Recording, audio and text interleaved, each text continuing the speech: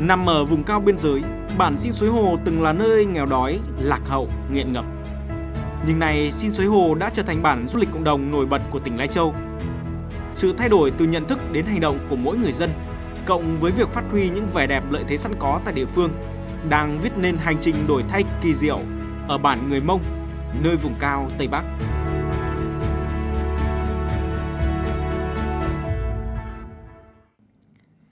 Xin Suối Hồ Bản làng nằm ở vùng cao biên giới của huyện Phong Thổ, tỉnh Lai Châu. Trong những năm gần đây, Xin Suối Hồ đang trở thành điểm du lịch độc đáo hấp dẫn. Khí hậu, thiên nhiên, không gian văn hóa và con người nơi đây trở thành sức hút nhiều vị khách phương xa tìm đến để thưởng thức, tìm hiểu, khám phá, trải nghiệm. Với nhiều du khách, điều gây ấn tượng khi đến Xin Suối Hồ không chỉ bởi vẻ đẹp của bản làng vùng cao này, mà còn bởi những điều đặc biệt của con người và cộng đồng nơi này. Ở đây thì là là một cái bản du lịch cộng đồng mà tất cả mọi người dân ở đây tự nhau, cùng nhau xây dựng lên và họ làm mọi thứ để làm sao để để phát triển cái ngành du lịch của mình. Đồng thời thì là những cái ờ, trong cái cuộc sống hàng ngày của họ, thì họ, thật sự là họ họ họ phát triển hơn ra rất nhiều so với cái việc là họ là một cái bản làng xa xôi. Tôi cảm thấy rất là ngạc nhiên.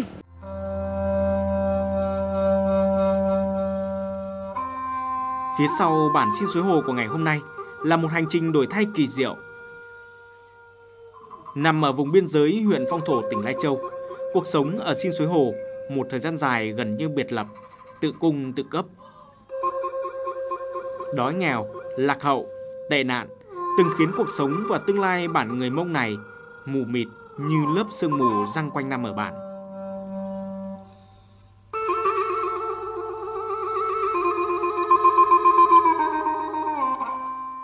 Cái bảng làng này là một cái bảng làng trước kia là một cái bảng làng tức là tệ nạn xã hội. Một là nghiện uh, rượu à, cái thứ hai nữa là thuốc lào cái thứ ba nữa là thuốc viện. À, cho nên là nghiện tới khoảng 80 phần trăm. Cho nên là từ những cái nghiện đó dẫn đến cái việc tức là không đi làng ăn được cho nên là đói tức là à, đói tức là à, 12 tháng. À, cho nên là chỉ ăn củ mè à, rồi à, ăn rau rừng à, và dẫn đến cái việc tức là à, bệnh tật rồi chết chóc đó là khoảng thời gian trước năm 2000.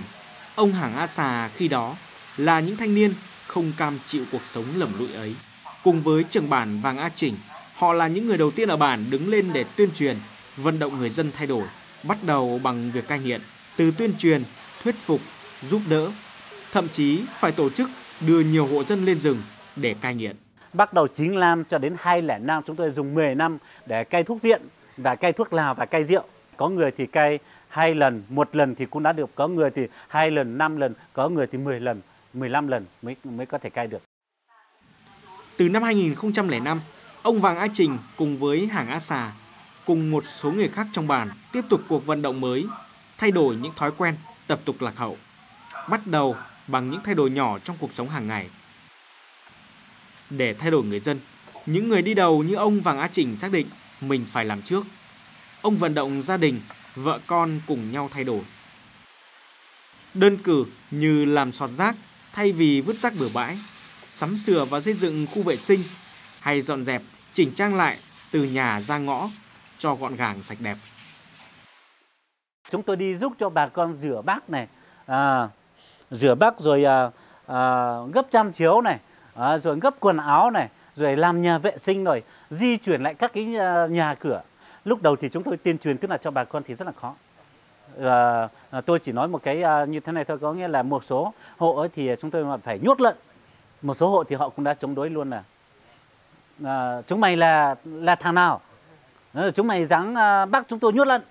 À, mấy cái mấy cái ờ, anh cán bộ ở xã huyện tỉnh còn không dám bắt chúng tôi mà chúng mày là thằng nào mà chúng tôi mà chúng mày dám bắt chúng tôi nhốt lợn? Mà chúng mày muốn nhốt lợn chúng tôi á chúng mày phải à, nhốt vợ chồng chúng tôi trước nhá à, không nhốt vợ chồng chúng tôi trước thì chúng mày đừng có mà nhốt lợn chúng tôi. À, cho nên là lúc đầu thì mà bà con bảo thủ như thế. Mình là những người đứng đầu thì mình phải luôn luôn đi trước. Là ví dụ như là mình trang trí lại nhà cửa thu dọn dơ vệ sinh này mình lại trồng hoa ở trước cửa này. Cái chú nào thiếu cây thì có khi là mình thì lấy cây về trồng này. Là lúc mình làm mình bỏ đời rượu bỏ đời thuốc viện thì lúc đấy thì mình lại làm đơn bảng làm sinh sài đó. thì lúc đấy thì bà con sẽ nghe theo mình. Kiên trì và đồng lòng cùng thay đổi, Bản Xin Suối Hồ đã lột xác từ một bản vùng cao lạc hậu, trở thành một bản làng sạch đẹp, văn minh. Ở bản Xin Suối Hồ, giờ đã xây dựng riêng cho mình quy ước bản 50, không xả rác bừa bãi, không thả gia súc gia cầm, không uống rượu, hút thuốc, không bạo lực gia đình và không trộm cắp.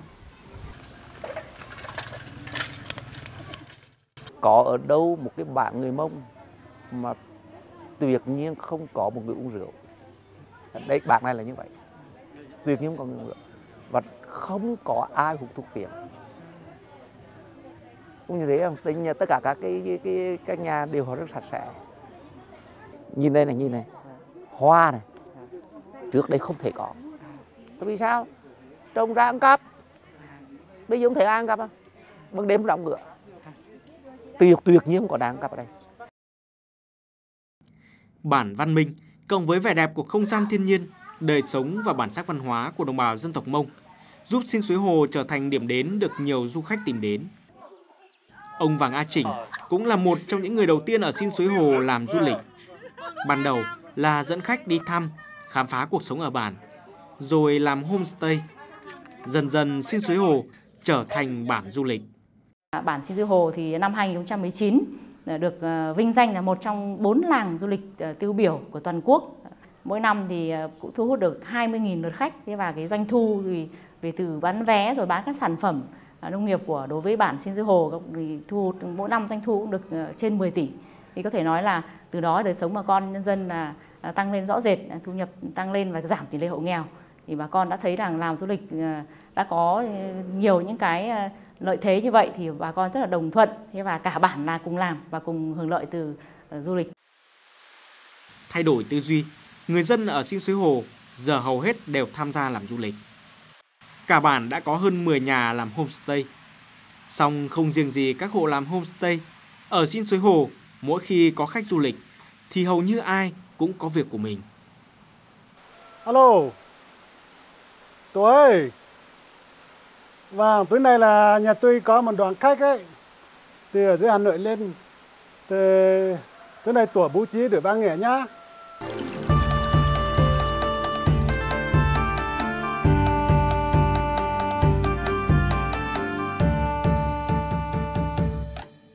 Tổ văn nghệ gồm 20 người, đều là những thanh niên được tuyển chọn trong bản. Những tiết mục văn nghệ cũng được các thành viên trong tổ sáng tạo để biểu diễn. Giống như mô hình tổ văn nghệ, ở Xin Suối Hồ có tổng cộng 15 tổ tham gia làm du lịch. Mỗi đoàn khách du lịch tới bản sẽ có tổ xe ôm, tổ homestay, tổ hướng dẫn viên hay tổ ẩm thực để phục vụ khách. Ngoài ra còn có tổ trồng trọt, tổ chăn nuôi hay tổ dệt thổ cẩm. Nhờ tập trung lợi ích cho người dân đã giúp Xin Suối Hồ tạo nên sức mạnh cộng đồng để cùng nhau làm du lịch.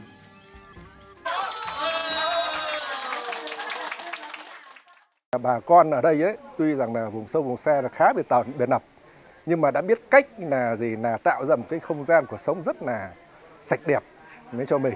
Đấy, thậm chí có thể nói là rất văn minh. Văn minh ở đây là cái chỗ là thể hiện là một là không ra môi trường sạch sẽ và vẫn là giữ nguyên được cái bản sắc của bà con ở đây tạo dựng một cái không gian văn hóa để từ đó ấy, là thu hút khách du lịch và qua khách du lịch như vậy ấy thì nâng cao cái đời sống của mình và bây giờ đến đây ấy, thì có thể thấy rằng là đời sống của con phải nói là rất là đáng mừng. Không chỉ mang lại thu nhập từ hoạt động du lịch, việc phát triển du lịch ở Xin Suối Hồ đang giúp chuyển đổi cơ cấu kinh tế của người dân nơi đây.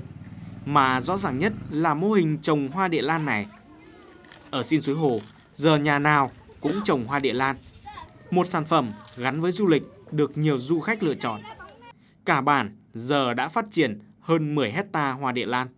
Đối với gia đình em thì à, chỉ à, tầm khoảng là 3 40 triệu à, một đợt mình bán thôi, còn cũng không nhiều lắm. Còn có nhà à, một số anh em trong bản như anh Hàng A Dơ thì hàng năm à, thu được à, tầm khoảng trăm dưới 200 triệu một năm và thu nhật lang.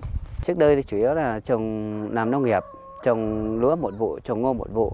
Nhưng sau khi Ờ, chuyển sang là làm du lịch rồi người ta có cái buôn bán trao đổi và đồng thời một số hộ đấy thấy cái cái hiệu quả kinh tế đó cao hơn. Người ta thậm chí người ta còn một số hộ người ta không không uh, chuyển đổi hình thức sản xuất đó là người ta không không trồng ngô trồng lúa nữa. Người ta chuyển sang phát triển lan rồi rồi trồng các cây có giá trị kinh tế cao hơn thu hút được uh, hàng năm đưa, đem doanh thu lớn hơn.